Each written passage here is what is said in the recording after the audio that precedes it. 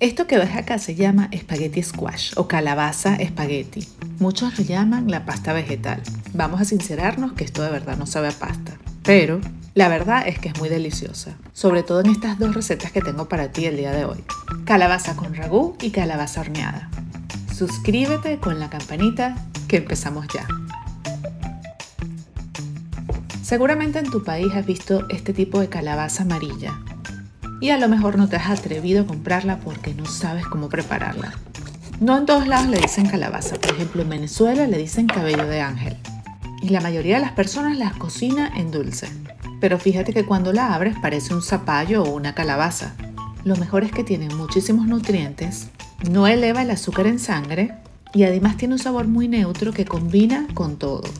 Antes de cocinarla, lo primero que vamos a hacer es eliminarle las semillas. Despréndelas así con una cuchara y luego las vas limpiando poco a poco. Si es necesario, métele la mano. Hay personas que le dejan esta parte amarilla más oscura, pero a mí me gusta quitárselo porque siento que la textura no es igual. Mira esto, tengo algunas semillas germinadas. Busca una bandeja y vas a poner esta calabaza espagueti boca abajo. Y las semillas no las vas a botar, las vas a lavar y le vas a poner sal y aceite de oliva, porque también se van al horno.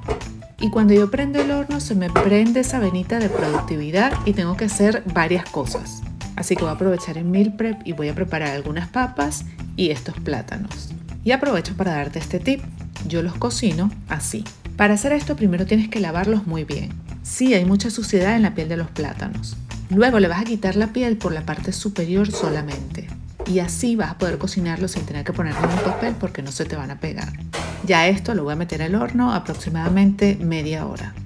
Lo vas a sacar cuando ya veas todo así doradito y suavecito. Quiero que veas el color dorado que tomaron estas calabazas squash. Las cociné a 200 grados centígrados exactamente por 30 minutos. Cuando le metes el tenedor debería pasarte esto. Mira cómo sale como un espagueti. Aquí es cuando uno dice la naturaleza realmente es perfecta. Te cuento que eso así solito, con mantequilla o aceite de oliva, unas hojitas de albahaca, sal y un poquito de ajo es maravilloso. Pero yo te voy a dar otra receta más el día de hoy. Aquí tengo la otra mitad. Aproximadamente a los 25 minutos ya te va a salir así como si fuera un espagueti. Si lo vas a guardar para otro día, puedes dejarlo así que quede un poquito durito, como al dente. Así cuando lo vayas a calentar va a tener la consistencia adecuada. Las papas también quedaron perfectas, me gusta mucho más cocinarlas así que en el agua. Y para que te hablo del plátano, mira esta suavidad. Están pero reclamando un quesito y una mantequilla. y como puedes ver, nada se ensució, nada se pegó a la bandeja.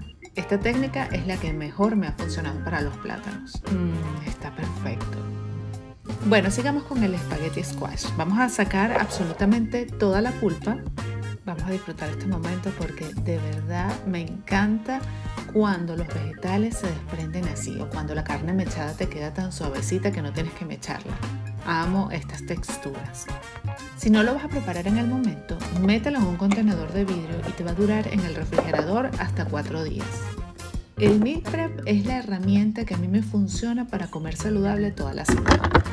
Si quieres conocer más de esta técnica a fondo con el paso a paso y todo, busca ya mi ebook en mi tienda recetaslili.com slash shop. Te dejo todos los links abajo en la descripción. Y las semillitas quedan crujientes, doraditas, saladitas. Son el snack perfecto de la tarde. Así que nada se bota. Para hacer el primer plato tengo guardada este ragú estilo boloñesa que me quedó delicioso y que si quieres la receta he hecho un video con todo el paso a paso y te lo voy a dejar aquí en la descripción.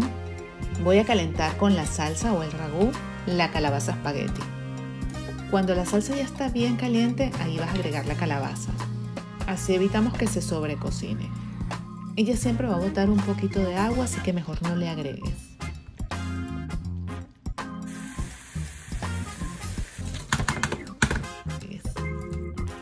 Cuando ya la tienes así bien mezclada, le vas a agregar un poco de queso parmesano.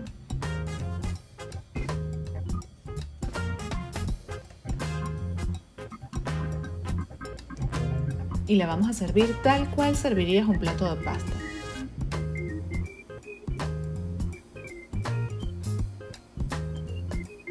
Me gusta agregarle una hojita de albahaca y cuando la sirvo también le agrego un poco más de queso parmesano.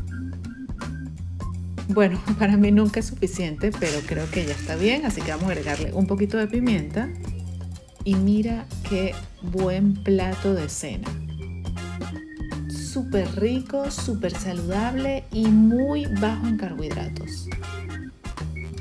Si tus hijos no comen vegetales o tu esposo, dales esto. es sencillamente perfecta. Yo debería darle una sola probada en estos videos, pero es que no me aguanto de darle otra. un aplauso para esta receta porque es un 10 de 10. Vamos con la segunda opción si eres más de lasaña que de pasta. Vas a ponerla en un contenedor de vidrio ya mezclada con la salsa o el ragú que hicimos anteriormente.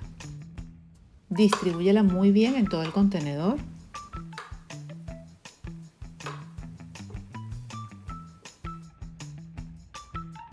Y ahora le vas a agregar queso parmesano por encima. También le puedes agregar otras opciones de salsa saludable como una bechamel de coliflor o una bechamel de brócoli. Puedes encontrar la receta de la bechamel de coliflor en mi página web recetaslili.com. O también puedes batir un huevo y se lo agregas por encima con el queso parmesano. Puedes espolvorearle un poquito de hojitas de albahaca o también orégano. También le puedes poner tomate o algunas anchoas. Cerramos con pimienta y lo llevamos al horno. Un horno de 200 grados centígrados, 400 Fahrenheit, durante 25 minutos. Luego lo dejas como 3 minutos que gratine.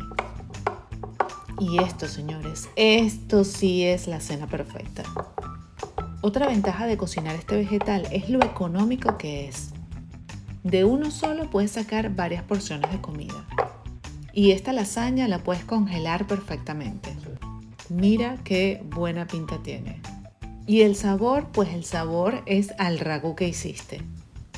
Servimos, agregamos un poquito más de albahaca y por supuesto un poquito más de queso y también de pimienta. Huele delicioso, así que tenemos que probarla ahora mismo. Se ve muy rica, ¿verdad? Está muy rica. Mmm, wow. Otra idea de cena espectacular. Si quieres recibir mis recetas en tu email, ve y suscríbete ya a mi newsletter. Te voy a dejar el link abajo en la descripción.